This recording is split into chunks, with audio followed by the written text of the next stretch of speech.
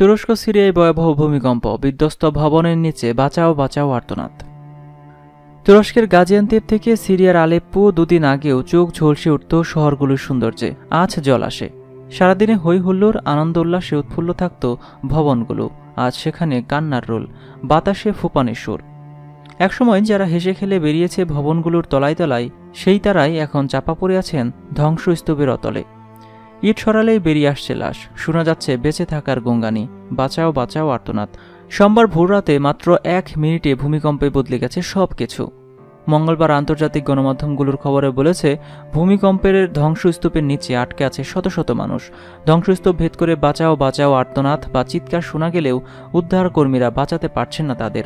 এমনকি অবস্থাও শনাক্ত করা যাচ্ছে না আটকে পড়াদের অনেকের। ইস্তাম্বুলের সাংবাদিক হাসকুলুগলু বিবিসি নিউজ চ্যানেলকে বলেন, ধ্বংসস্তূপের নিচে আটকে আছে শত শত পরিবার। আটকে পড়ারা তাকে সহ অন্যান্য সাংবাদিকদের তাদের অবস্থান, ভিডিও এবং অডিও বার্তা পাঠাচ্ছেন। দুর্যোগ থেকে বাঁচতে তাদের আন্তর্জাতিক সহায়তা প্রয়োজন বলে জানান তিনি। সিরিয়ার বিরোধী নেতৃত্বাধীন সিভিল ডিফেন্স সার্ভিস প্রধানও জানান, তুরস্ক ও সিরিয়ায় আঘাত হানা পরপর দুটি ভূমিকম্পে ভবনের ধ্বংসস্তূপের নিচে আটকে আছে শত শত পরিবার। উদ্ধারকারী গোষ্ঠী হোয়াইট হেলমেটের উদ্ধার তৎপরতা আন্তর্জাতিক সংস্থাগুলোর জরুরি সহায়তা প্রয়োজন বলে জানান তিনি। মৃত্যুর সংখ্যা বিদ্রোহী নিয়ন্ত্রিত এলাকায় সাতশো তেত্রিশ ও সরকার নিয়ন্ত্রিত এলাকায় ছয়শো পঁয়ষট্টি জন। তুরস্কের সীমান্তের কাছে নিহত হয়েছে দুই হাজার নয়শো একুশ জন। ইতিমধ্যে মানবিক এবং সুরক্ষা সামগ্রী পাঠিয়েছে যুক্তরাষ্ট্র, Germany, France, Poland, Italy, Mexico, France, Spain, Russia এবং চীন।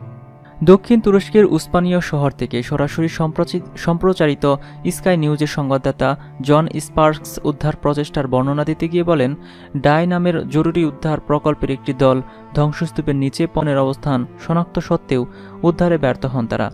স্পার্কস জানায়, রাস্তায় সচল চোখে অপেক্ষা করছিল আটকে পড়াদের স্বজনরা পরিস্থিতি বর্ণনা দিতে গিয়ে তিনি বলেন, আটকে পড়াদের হিমাঙ্কের নিচের তাপমাত্রায় ধ্বংসস্তূপের নিচে বেঁচে থাকা কঠিন। ভূমিকম্পের ভয়াবহতার সঙ্গে সঙ্গে বাড়তে থাকে হৃদয় বিদারক দৃশ্যও। এরই মধ্যে সিরিয়ার আলেপুতে ধ্বংসস্তূপের নিচেই জন্ম নিয়েছে এক শিশু, তবে জন্মের পরপরই মারা যায় শিশুটির মা। নবজাতক উদ্ধারের ভিডিও প্রকাশ করে তালহা সিএইচ নামে এক টুইটার অ্যাকাউন্টে। ভিডিওতে দেখা যায়, উদ্ধারকর্মী শিশুটিকে হাতে নিয়ে দৌড় দেওয়ার সময় কোনো এক পোশাক ছিল না শিশুটির গায়ে। তখন শিশুটিকে ঢাকতে অপর এক উদ্ধারকর্মী চাদর ছুড়ে দেন। এছাড়া সিরিয় ইদলিপের একটি ধ্বংসস্তূপ থেকেও আরেকটি শিশু উদ্ধারের ভিডিও প্রকাশিত হয়েছে। উদ্ধারের পর পরিবারের কাছে হস্তান্তর করা হয়েছে সিরীয় শিশুদের। আঠারো মাস বয়সী শিশু রাগাব ইসমাইল তার চাচা আজাদের সঙ্গে নিরাপদে রয়েছেন বলে জানায়।